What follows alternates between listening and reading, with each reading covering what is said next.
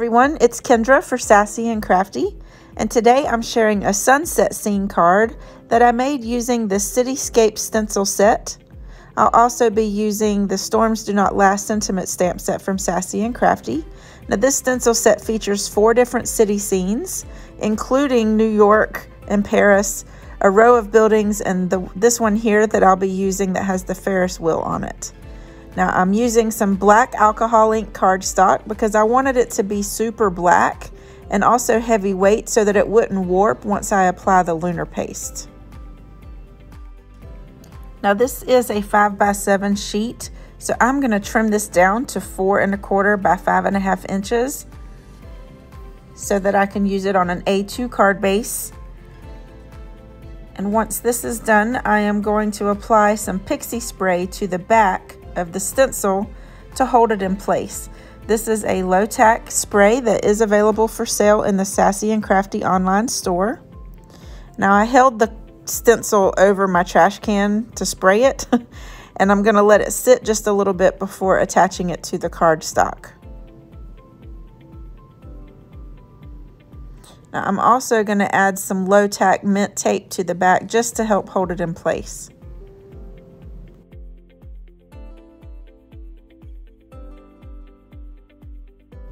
So to create this scene, I'm going to be using these lunar pastes here by Simon Hurley.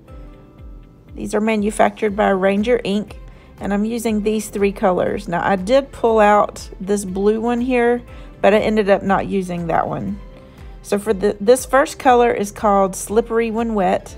It's the yellow color, and I'm taking my palette knife and I'm going to apply this along the bottom part of the stencil. So I'm kind of creating a sunset scene. And of course I want the yellow to be at the bottom. And I wasn't sure if this palette knife was going to get this as smooth as I wanted it. So I did have three sponge daubers handy so that I could smooth it out if I needed to. And I did put quite a bit on here. I didn't realize how much was on this palette knife. But here I'm just trying to smooth that out as best I can with my palette knife and I ended up switching over to the sponge dauber just to get rid of some of those clumpy areas and to clean off my palette knife. I did speed this up just a little bit, but I wanted to mention that anytime I'm working with pastes or gels or any kind of mixed media, I like to have some baby wipes nearby so that I can easily clean up my mess. I tend to be a very messy crafter, and this is the first time I'm actually using the lunar paste. So for this next color, this is called Traffic Cone. I um, started out using, or I thought I was going to use the palette knife, but I figured I'd try the sponge dauber just to see if it applied it any better and I did not get as thick of coverage as I did with the yellow one so I definitely recommend using the palette knife at least at first and then come in with the sponge dauber just to smooth out any clumps. So you can kind of see here that this orange color is a little bit thinner than the yellow. So in hindsight I would have gone back and just stuck with the palette knife. But here I'm just kind of rubbing this in and I'm trying to blend the yellow and the orange some together so that it looks like a smooth transition and it looks like a sunset. So for the next color, which is called Bee Sting, I believe it's red, I decided to I'm use the palette knife again with each um, of the different colors. Just like I said before, those, I uh, used my sponge dauber just to smooth more. out any clumps.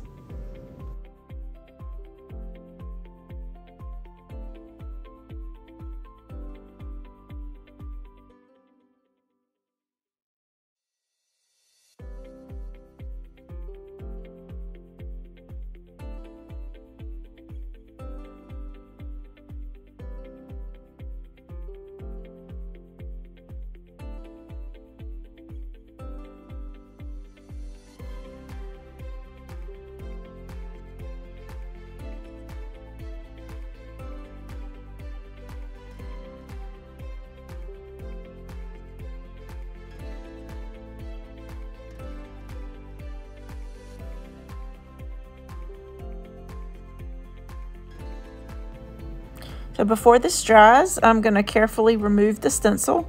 This is my favorite part, the big reveal.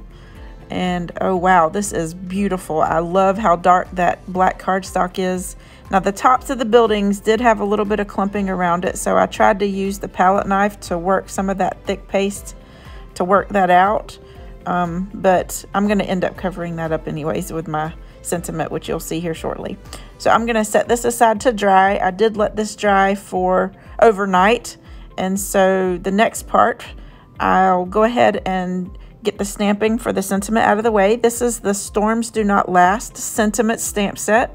And it has some great sentiments like even when you feel alone, you aren't. And I'm here for you. It will get better. You matter. And I'm going to be using the one that says always together, never apart, maybe in distance, but never in heart. I think this goes perfect with this um, scene that I'm building. And so I'm using that scrap piece of black alcohol ink cardstock that I cut off earlier and I'm placing it in my MISTI stamping platform. And I'm applying some Versamark embossing ink to the stamp. But before stamping it, I ran my anti-static powder bag on top of the cardstock and then I stamped this several times just to make sure it had a good even impression. And I applied some pressure on top of my MISTI using an air hockey table pusher. it actually works great. It's got felt on the bottom.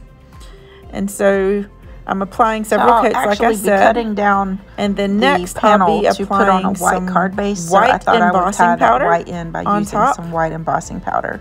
So here I'm just flicking off the excess powder using my paintbrush. And then I let my heat tool heat up for at least 30 seconds before I started applying that to the, the powder here to, in order to melt it.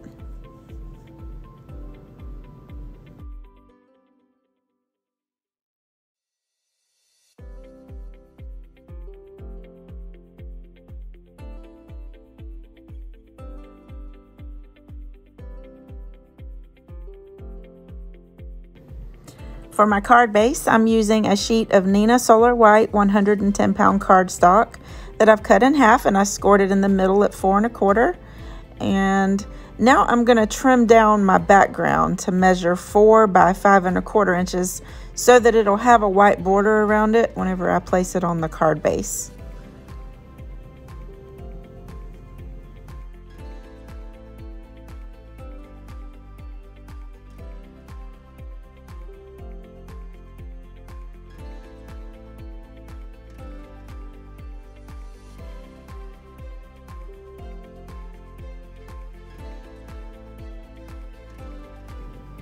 So I'm also trimming down my sentiment.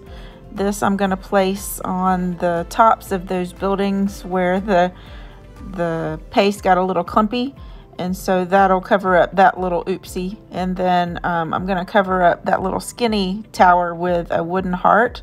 But I wanted the wooden heart to be um, not so noticeable. I wanted it to be red. So I'll be coloring that with some lunar paste here in just a bit. But I'm gluing down my panel to my card base using some Nuvo Deluxe adhesive. And then I'm going to put my MISTI stamping platform on top just until it dries to flatten it out.